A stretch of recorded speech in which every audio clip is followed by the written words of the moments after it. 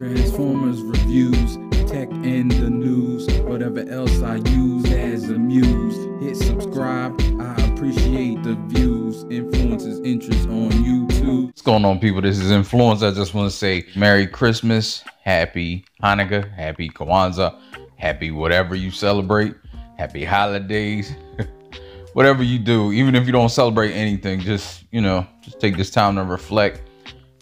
Coming to the end of the year uh, and that's it. I just wanted to give a little Christmas message. I like to do that every year. And just enjoy some Christmas lights.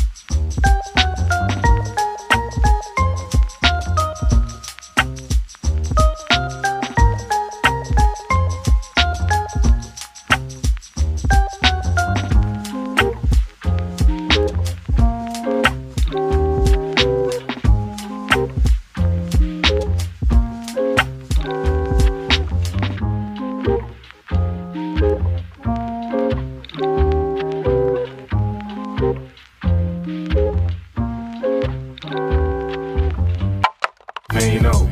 Life ain't over. Life ain't over. Life ain't over. As long as you alive, you can give another try and take it real high if you want.